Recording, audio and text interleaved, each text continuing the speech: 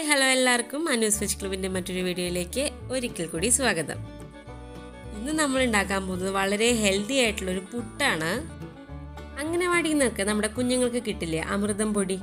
അതുകൊണ്ടുള്ളൊരു പുട്ടാണ് കേട്ടോ. അപ്പോൾ അമൃതം പൊടി വെച്ച് എങ്ങനെയാണ് പുട്ടുണ്ടാക്കാൻ നമുക്ക് നോക്കാം.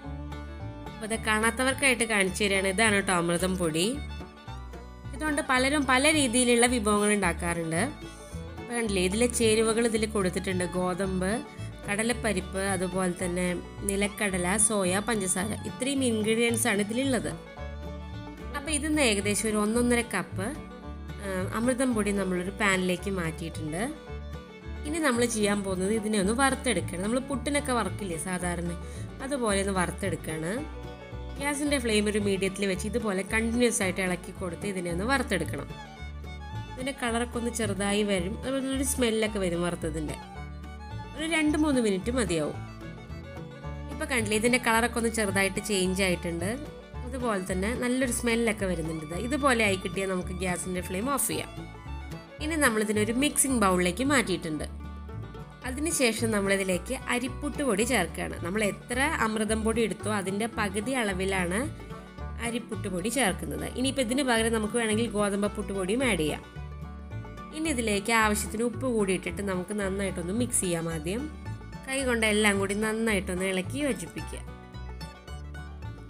ഇനി നമ്മൾ സാധാരണ പുട്ടിന് കുഴയ്ക്കുന്ന പോലെ തന്നെ ആവശ്യത്തിന് വെള്ളം ഒഴിച്ച് ഇതിനെ നന്നായിട്ട് കുഴച്ചെടുക്കണം.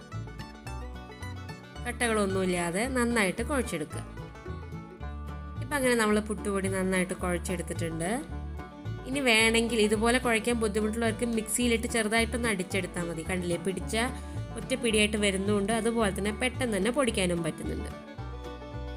ഇനി സാധാരണ പുട്ടുണ്ടാക്കുന്ന പോലെ ആദ്യം കുറച്ച് തേങ്ങ ഇട്ട് കൊടുക്കുകയാണ്. അതിനുശേഷം ഇതിന്റെ മുകളിൽ പുട്ടുപൊടി വെച്ച് നിറയ്ക്കുക. പിന്നെ ഇതിന്റെ മുകളിൽ കുറച്ച് തേങ്ങ കൂടി ഇട്ട് കൊടുക്കണം ഇനി ഇത് നന്നായിട്ട് അടച്ച് വെച്ചിട്ടൊരു ആറേഴ് മിനിറ്റ് നന്നായിട്ട് ആവി കയറ്റി എടുക്കുക. സാധാരണ പുട്ടിനേക്കാളും കുറച്ചുകൂടി സമയം കൂടുതൽ വെക്കണം കേട്ടോ.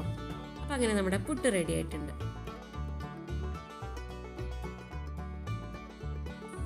അറിയാലോ അമൃതം പൊടിക്ക് ഒരു ചെറിയ മധുരം ഉണ്ട് അതുകൊണ്ട് തന്നെ ഇതിലേക്ക് ബെസ്റ്റ് കോമ്പിനേഷൻ പഴവും പപ്പടവും തന്നെയാണ് കേട്ടോ.